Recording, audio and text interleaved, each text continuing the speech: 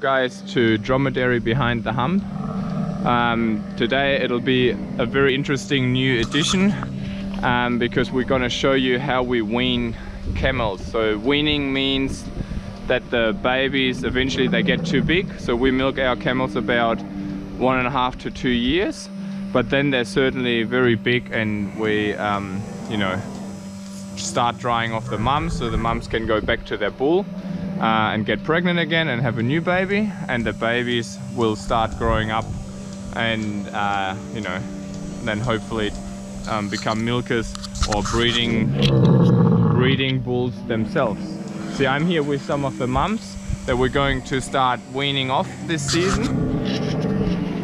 And you can already see that some camels will actually um, kick away their babies by that time. So basically they start weaning their babies themselves. So in nature, after 12 months, sometimes even 8 to 12 months, uh, the babies would be weaned naturally. And so, you know, one and a half to two years is quite a long time for a camel to milk. And usually then the production would go down as well. So that's the reason, that's what we're gonna show you in this episode. So please stay tuned. And if you haven't done so, subscribe to this channel um, where we bring you all the background of and the things that we do here at DromeDairy on a day-to-day -day basis. So now we get the next cow in. She's already waiting and see what happens with her.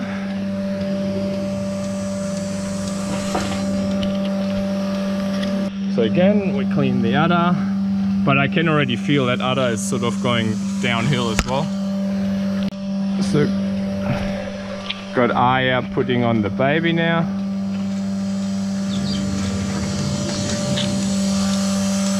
And they should usually start drinking. This one just walks straight past the camel, straight past the mum. Not really interested as well. Here we go. And let's see what happens. See mum starts kicking now, which is unusual. So usually the mum would just suckle. Now it's sort of pushing that baby away. It doesn't want it anymore. Baby is trying.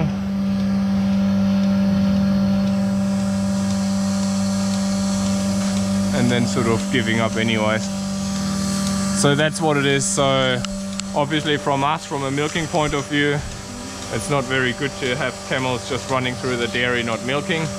So another reason why we have to wean them now. So today another morning milking, but now we've separated the babies like normal for the night. So, and they're all lined up as usual. But now because we started that weaning process, we keep them in that little holding area here. And just, so the mum is already in the race now, we just leave the mum inside the race and I'll, I will try to manually stimulate the udder and see if we get some milk out. If not, it doesn't matter because they're drying off now within seven to 10 days anyways. So that's how we gently wean them. And later on, I'll show you when we get them outside to the paddock, we um, put the mums alongside to the babies on a different paddock. So they're still near each other, you know, uh, happy days basically, but they just don't uh, they're not able to get to the mum to drink anymore. Which as I shown yesterday, they don't really want to do that any, uh, anyways anymore. So here we've got now one camel that is even letting down without the baby, which is good. So we milk and take take the pressure off uh, off the other, and then um, she'll dry off anyway. So ran this group through the race now. They're happily following along. Hello girls, no babies. Huh? You're on maternity leave? No, you can't say that. Ah. It's sort of long service leave. There you go. You coming as well? Okay, she's always the slowest. Nice and relaxed. The mums are out now and now we go and get the babies next to next to the mums on a different paddock. So boys and girls, you excited?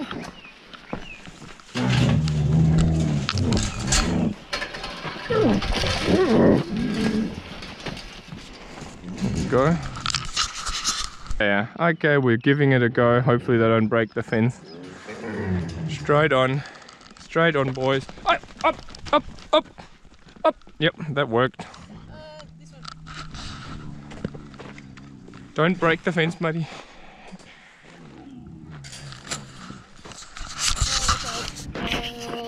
Oh, you close it? Yep. Yeah. Thank you. We've got hay in this paddock as well. Hey, hey. Come on, Brownie. Come on. I'm still getting used to the idea now.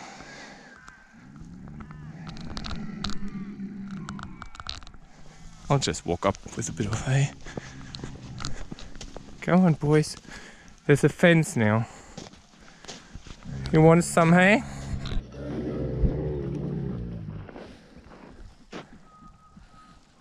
Come on.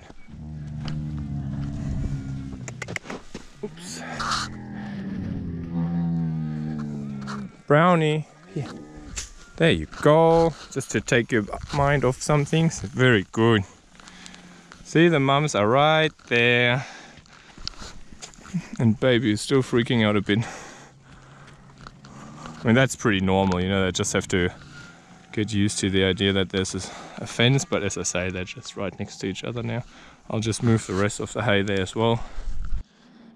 Ah, here we go. That worked. And so the other group didn't quite work. They actually broke through the gate, but it was more my error. I mean, it's it's a it's a bit hard to get into that other paddock. so next day after we separated the babies. The mums are running through the race without babies, quite alright. And today we're gonna let that group back into the yard so the um, babies won't break the fence again because they, they actually uh, just ran through the gate yesterday, so I had to fix all that. Um, the other group did it quite well, but so now we leave mums and babies together later on. Leo is trying there, he's just, because there's no calf, just uh, trying to get a let down manually. And the reason why we do it, they dry off anyways in the next few days, but we just do it to release some of the pressure and to avoid uh, an infection like mastitis. So some let down, some don't. If they don't, that's that's okay. If they do, we milk them, and then it'll it'll end anyways in the next few days. They just they will all dry off eventually. Yeah, the calves they're playing off a little bit because they're not in their usual position. Usually they would be closer to their mum, but we left them back there so they don't freak out too much. Um, and as I said, we'll once the mums ran through, um, we'll put the mums right next to them so they're you know all nice and comfortable. So it's just one more to go here now, and then there's one more group without babies.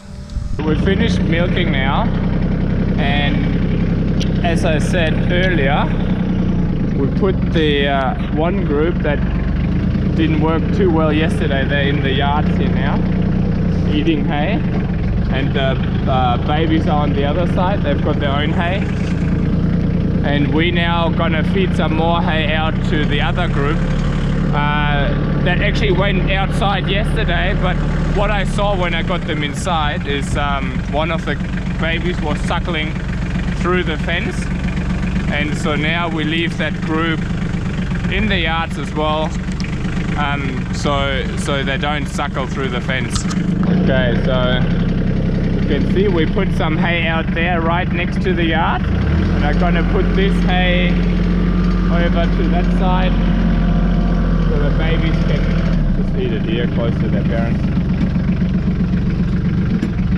and I'll let these guys out now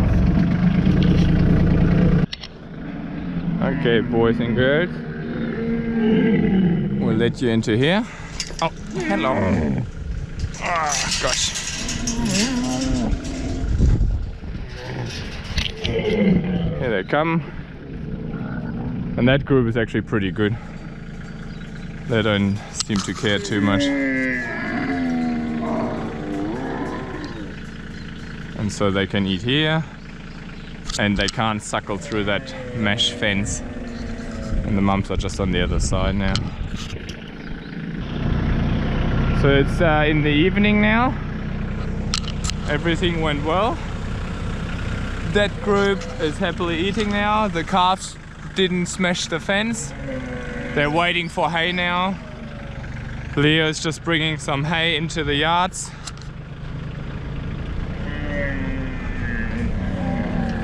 So these mums are also happily waiting on that side. So we're just prepping the yards now and then we bring the big ones in.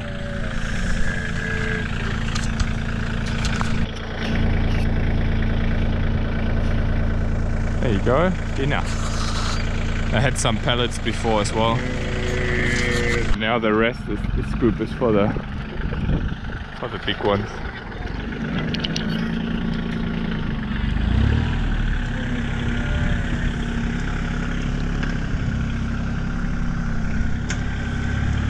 Starting to rain. They're all excited.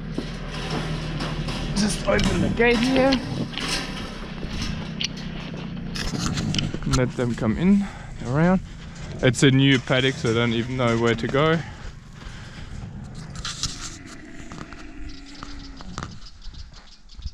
There you go. Always at lucky last, that's Laura. Come on, girl.